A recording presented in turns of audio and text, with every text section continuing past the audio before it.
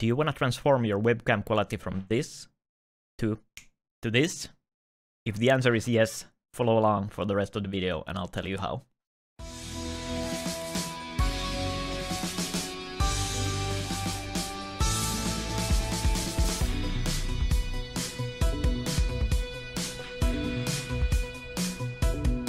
Hi, my name is Jesse, and this is the Logitech C922. Now the Logitech C922 or the Logitech C920 are probably the most widely used webcams in content creation on YouTube and Twitch. Now, during the past two years I've been using the Logitech, I've learned quite a lot of good tips and tricks on how to make the quality really stand out, and I've actually gotten some compliments on how it almost looks like a DSLR.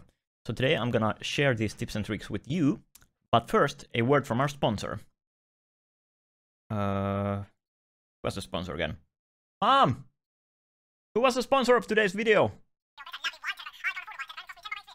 What?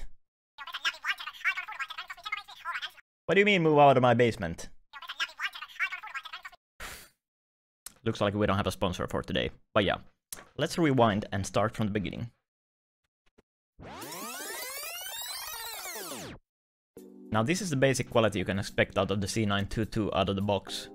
You see it's not as sharp, the colors are a bit washed out.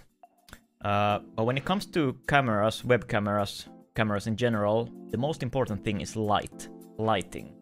How good is your light? That really determines the quality of uh, the camera. Now lighting can be super expensive, think like Elgato or something, but in my case I've managed to fix it fairly cheap and I'll show you what I have to work with here.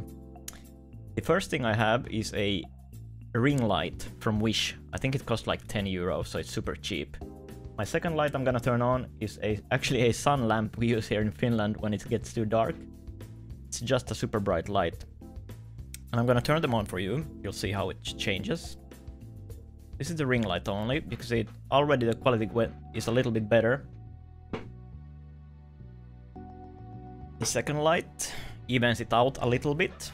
You know, it's a little sharper, but still looks a bit washed out. But the third light I use, and actually the one that has most impact, is a floodlight behind me on the on the floor. It really makes the whole camera stand out. This is the white light.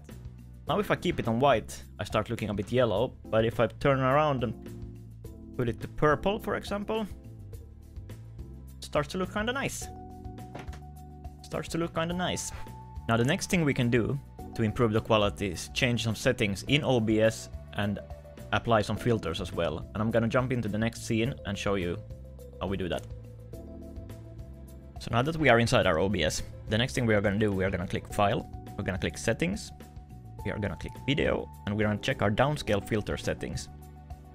Uh, now selecting between bicubic and Lanczos will decide how sharp your image is gonna look like. For some people, the Lanczos might seem a little bit overly sharpened, but that's just the way I like it. But you can select between bicubic and Lanczos. So the next thing we're gonna do is apply a LUT filter to our camera source. So we are gonna go into our camera source, we're gonna go into our C922 settings, add filters, click add, and apply LUT. Now I already applied my LUT here, and I found this LUT pack from the Gaming Careers website, which I'm gonna link down below, where you can download a couple of different LUTs and see which works for you the best. But we're gonna apply the LUT, and instantly the webcam looks so much more professional, clean. See between 0 and 80. I like to keep mine at 80, but depending on your lighting and everything, you're gonna have to play around with that. One thing we can also do is add a color correction filter if you want to play around with your brightness, contrast and stuff. I just added a little extra contrast to my video. So now our webcam is already looking super nice compared to what it was when we started, but it still doesn't have that DSLR feel or look that we're really going for. So if you have an NVIDIA GPU, you can go ahead to NVIDIA's uh, website and download their NVIDIA Broadcast Engine. I'm gonna link that down in the description as well. But basically you just download it and install it, super simple. Then when you open up their software, show it to you, it's gonna look like this, where you have your camera source, where you select your webcam, and after that you're gonna go into your OBS again, and go into your webcam properties and select a new webcam that says camera NVIDIA broadcast here. And when we change to it, ta-da, background blur. But you still need to set it up from here. Now it says uh, source camera is busy, we're just gonna wait for a little bit. There we go. And it's gonna give you a couple of different settings here. Mainly the thing we are looking for is background blur, that gives it that nice DSLR field. You can set it to quite blurry as well, but I like to keep it here. Not too much, so we can still see my paintings behind me. So we have background blur, background replacement, removal, which basically works as a green screen. Yeah, let's keep it to blur. There we go. But yeah, here we are, looking a lot better than when we started. So let me know in the comment section below if you found this video helpful and if you're gonna try it out on your own webcam. And if you did, did you get a nice good quality upgrade out of it? I'm also gonna leave a couple of links in the description to help you out, as well as a link to my Twitch where I stream at least every Monday, so feel free to follow me there as well. But yeah, if you liked the video, hit that like and sub button to get some nice good videos like this in the future. And uh, also share it to a friend maybe, help me out. Yeah, thank you so much for watching, I'll see you again. Goodbye.